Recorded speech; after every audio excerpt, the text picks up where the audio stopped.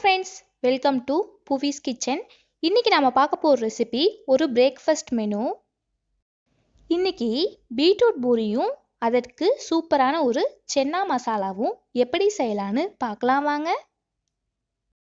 வீடியோக்குள்ளே போகிறதுக்கு முன்னாடி மறக்காம எங்கள் சேனலை சப்ஸ்கிரைப் பண்ணிக்கோங்க. பக்கத்தில் இருக்க பெல் பட்டனையும் எழுத்திக்கோங்க அப்போ தான் நாங்கள் போடுற வீடியோவை நீங்கள் உடனுக்குடன் பார்க்க முடியும்.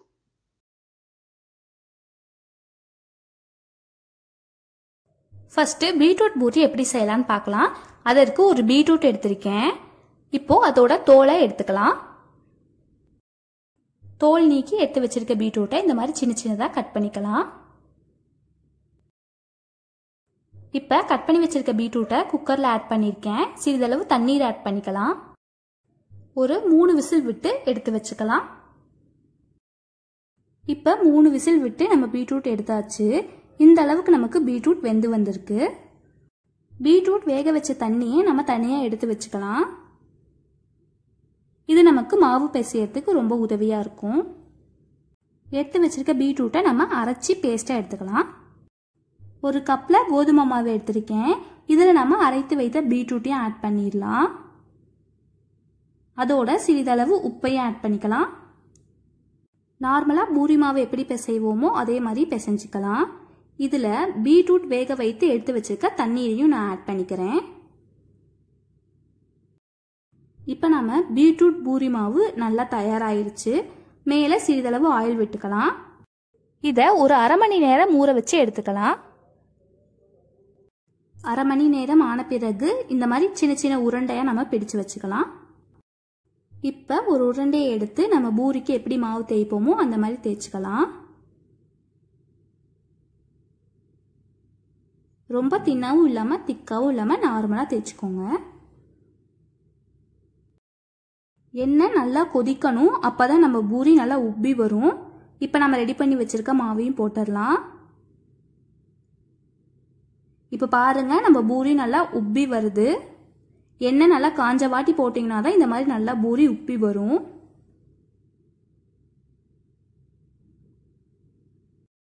இப்போ பூரியை நம்ம எடுத்துடலாம். இப்போ பாருங்க நம்ம பீட்ரூட் பூரி நல்லா உப்பி சூப்பராக வந்திருக்கு. அடுத்து நம்ம இதற்கு சூப்பரான ஒரு சைடிஷ் எப்படி செய்யலாம்னு பார்க்கலாம். இப்போ பூரிக்கு ஒரு பர்ஃபெக்டான சென்னா மசாலா எப்படி செய்யலாம்னு பார்க்கலாம். வீட்டில் இருக்கக்கூடிய பொருட்களை வச்சு எப்படி சென்னா மசாலாவை சுவையாக செய்யலாம் அப்படின்னு நம்ம பார்க்கலாம் வாங்க. இதற்கு தேவையான பொருட்கள் சுண்டலை எட்டு மணி நேரம் ஊற வச்சு எடுத்திருக்கேன். பெரிய வெங்காயம் கட் பண்ணி வச்சிருக்கேன். தக்காளி முந்திரி பாதாம். இதெல்லாம் நம்ம அரைச்சி எடுத்துக்கலாம். தனியாத்தூள் ஒரு ஸ்பூன். மிளகாய்த்தூள் ஒரு ஸ்பூன். சென்னா மசாலா ஒரு ஸ்பூன். கரம் மசாலா தூள். இஞ்சி பூண்டு விழுது. உப்பு. பெரிய வெங்காயம் கட் பண்ணி வச்சுருக்கேன். பச்சை மிளகாய் இதில் பிரியாணி இலை சோம்பு ஜீரகம் ஏலக்காய் கிராம்பு பட்டை. இப்போ வாங்க இது எப்படி செய்யலான்னு பார்க்கலாம்.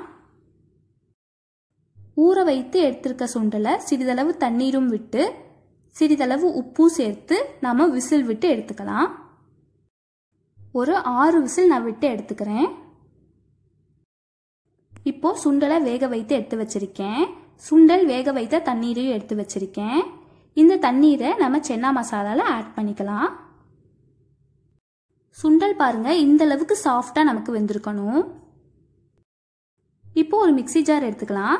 இதில் பெரிய வெங்காயம் தக்காளி முந்திரி பாதாம். இதெல்லாம் ஆட் பண்ணி அரைச்சிக்கலாம். ஒருவேளை முந்திரி பாதாம் நீங்கள் சேர்க்க வேண்டாம்னு நினச்சிங்கன்னா கசகசா கூட ஆட் பண்ணிக்கலாம். இதில் சிறிதளவு சுண்டல் வேக வைத்து எடுத்து வச்சுருக்க தண்ணீரையும் ஆட் பண்ணி அரைச்சிக்கலாம். இப்போ கடாய் வச்சுருக்கேன். கடாயில் ஒரு மூணு ஸ்பூன் ஆயில் விட்டுக்கிறேன். ஆயில் நல்லா காய்ந்த வாட்டி பட்டை கிராம்பு ஏலக்காய் சோம்பு ஜீரகம் இதெல்லாம் ஆட் பண்ணி ஃப்ரை பண்ணிக்கலாம். பிரியாணியிலே ஆட் பண்ணிக்கலாம். அடுத்து கட் பண்ணி வைத்த பெரிய வெங்காயத்தையும் ஆட் பண்ணிக்கலாம். பச்சை மிளகாயும் ஆட் பண்ணி நல்லா ஃப்ரை பண்ணிக்கலாம். வெங்காயம் சிறிதளவு வதங்கிய பிறகு நம்ம அரைத்து எடுத்து வச்சிருக்க பேஸ்ட்டையும் ஆட் பண்ணிக்கலாம். சிறிதளவு உப்பையும் ஆட் பண்ணிக்கலாம். இப்போ இதை நல்லா மிக்ஸ் பண்ணிக்கோங்க. நம்ம ஆட் பண்ண தக்காளி நல்லா பச்சை வாடை போகிற அளவுக்கு நல்லா வதங்கணும். எண்ணெய் சிறிதளவு பிரிஞ்சு வர அளவுக்கு நம்ம வெயிட் பண்ணணும்.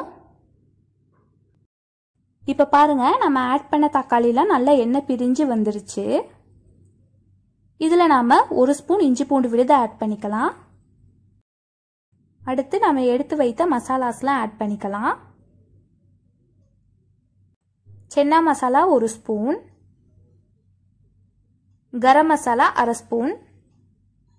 மிளகாய்த்தூள் ஒரு ஸ்பூன். கொத்தமல்லி தூள் அரை ஸ்பூன்.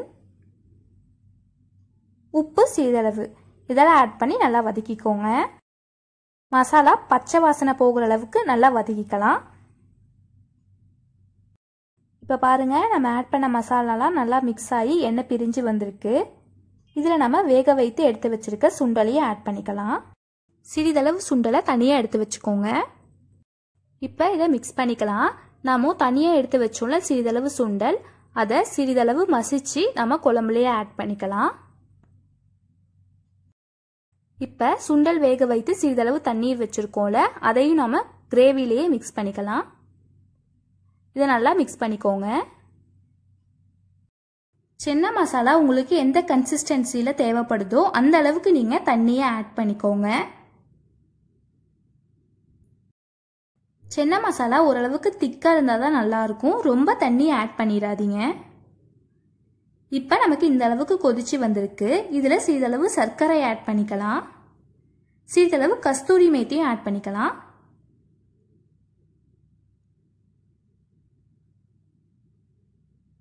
இப்போ இதை மிக்ஸ் பண்ணிக்கோங்க. இப்போ ரொம்பவே சுவையான நம்ம சென்னா மசாலா தயாராகிடுச்சு ஃப்ரெண்ட்ஸ் இதை நாம் எடுத்துடலாம்.